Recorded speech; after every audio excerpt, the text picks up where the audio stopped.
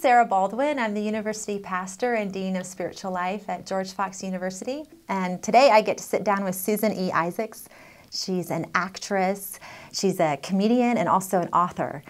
And uh, she's also a, a, professor at Pepperdine and Azusa Pacific University and teaching screenwriting and sketch comedy. And we're delighted to get to have someone whose credits include Seinfeld, My Name is Earl, and Parks and Rec. Well, you have a lot of wisdom for aspiring actors and screenwriters. I'm wondering if you could expand on any of that for that uh, student or that person who's just beginning. How do you go about this discovery process? Well, I think um, one thing is to really think about what gives you pleasure, what makes you feel alive, what makes you feel like I talk about in the book. What are you playing the note that God made you to play? Um, I, I've talked about this before, but if you take two guitars and you put them right next to each other and you pluck like the and they're in tune if you pluck the e string on one the one right next to it will vibrate because it's a sound wave. And this guitar is this uh, string is being plucked but that one will vibrate. If you have like if you go to live theater and you see performances and you feel like that's your sound wave, that's the note you're wanting to play. You should pay attention to what makes your heart ache, what makes you thrilled. I, I see great movies and I am just thrilled by them. Seeing a great performance or seeing a great story and recognizing great writing, that's what gets to me. That's where I feel like um, that's the note I want to play.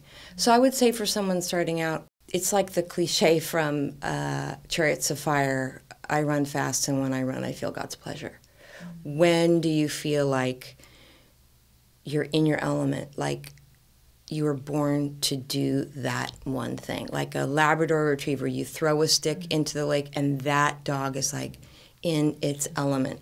And i would ask the person what do you really feel in your heart? When do you feel most alive? When do you feel like there's something holy and god-given where you are lit up from the inside and you hear god say well done. Um, when do you feel like you make God proud? Um, that you have to pay attention to that ache and that feeling of when you're lit up from the inside.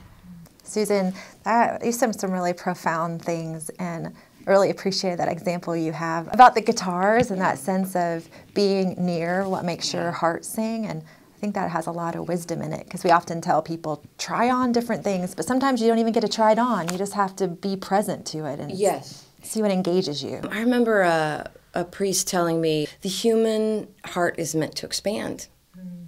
and grow and change, and who you were five years ago isn't who you are now. Mm. And if you're feeling some sense of restlessness or unhappiness or an ache for something else, it could be God or just yourself telling yourself, you need more. And I think it's, you might not know exactly what you want to be. And I think I mistook for, you know, when I went through struggles in my acting, I would think like, well, God, you opened that door to family ties like 10 years ago. You know, if you didn't want me to be in this business, why did you open the door in the first place?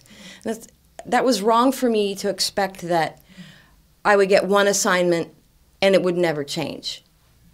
Um, but also, I think also God gives us opportunity. I think I wanted God to tell me, this is what you're supposed to do. This is the thing. Mm-hmm. Rather than, it was more frightening to imagine God saying, well, what do you want to do? Yeah.